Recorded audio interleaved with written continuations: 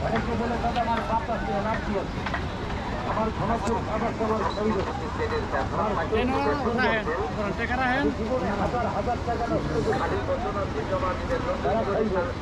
আপনি কি বানাবেন? নাকি?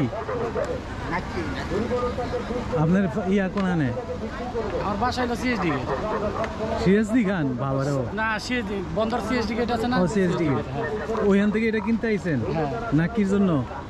মানে এটা কোচানের কবুতর কোচানের লেগা কবুতর মানে আহ, ডর বাঙ্গানের লেগা। আর কি? আচ্ছা আপনি আপনার কয়- কীরকম কবুতর আছে? আমার কাছে আছে একশো বিশ পিস কবুতরের মতো আছে। সব গিরিবাজ? সব গিরিবাস সবাই গিরিবাজ পছন্দ করে কে? আসলে গিরিবাস কবুতরটা মানে আমরা ওই যে- আমার বাবা পালছে ওই থেকে আমি দেখছি আমারও একটা মানে আকর্ষণ হয়ে গেছে এই কারণে অনেক ছেলে মেয়ে যে এটার মধ্যে লাগিয়ে গেছে ছেলেরা বিশেষ করে। হ্যাঁ, না এখন এটা মানসিকভাবে একটা মানসিক উৎকর্ষতা দেয়। এখন মহিলারাও খাবারের মতো কইরা বিজনেস সিস্টেম করে নিচ্ছে অর্থনৈতিক কোনো কারণ আছে? আমরা মূলত অর্থনৈতিক দিকে না আমরা শখে পালি। প্রত্যেক বছর খরচ শীতে- তো কম না। শীতে রেস করি। এক একজনের এক এক শখ। অনেকের অনেক ধরনের শখ থাকে। আমরা এই শখ মানে শখ পূরণ করতে হলে পয়সা লাগবেই। বিনা পয়সায় শখ পূরণ করা যায় না। আপনার কি মূল পেশা কি এটাই? না না আমি আকিজে আকিজ কোম্পানিতে চাকরি করি। পাশাপাশি। হ্যাঁ পাশাপাশি। তো এগুলোতে শ্রম দিতে হয় না এই যে হয়। পরিষ্কার টরিষ্কার করা। আমার আট ঘণ্টা ডিউটি চলে ডিউটির ফাঁকে ফাঁকে আমি সম্পূর্ণ সব কিছু করতে পারি। ভেরি গুড গুড লাগ আপনার জন্য। আচ্ছা।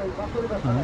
তা আপনারা তো সবসময় পাবো আমি এই আর কারণ এখন যদি আমার ভিডিওটা পুরাপুরি মিনিট ক্লিয়ার না করে আবার সামনে সপ্তাহে দিই হ্যাঁ আপনার এটা প্রচার হইলে এগুলো কাস্টমার বাড়বো। ঠিক আছে? মাছ ধরা টেনেও ভাইয়ের নাম কি? আমার নাম মোহাম্মদ সবুজ। আপনি এগুলি নিজে পড়ান? না হ্যাঁ অর্ডার দিয়ে না না কাস্টমার ইয়ে আছে। মালিক আছে। মালিক আছে। সিলেট কই থেকে? সিলেট থেকে। ও সিলেট থেকে আপনি বান্ডিল আনেন। হুম। ভালো। আমার জিনিস। বাড়ি চেয়ারম্যান বাড়ি চেয়ারম্যান অফিসটা আছে। আর কি কি কাজে লাগে এই যারা? ধরেন না মাছ ধরা টেনা হ্যাঁ। হ্যাঁ। আবার লাইট করে আওলা ধরে। কি? মাছ ধরে। আচ্ছা। লাইট দিয়ে লাইট দিয়ে। আচ্ছা। আর একটা অনেক ধরবো একটা আন্দাগুন্দি দিবিয়া আবার গঞ্জির হুঁশিয়ারিতে দিই। ওরা কি করে? গঞ্জি শুকায়। আচ্ছা। আর কি? আর কিছু আর দেখেন নাক। বেশ ভালো জিনিস আপনি করেন আমি ওই যে যদি এক হতে পারেন ওই পাতের লিগা টিপা টিপি মাদার লিগা মালিশ পাখার লিগা চতুর্থের লাগে না কাটা তবে সাবজেক্টটা দেরি করেন না। মাছ ধরার ছিপ।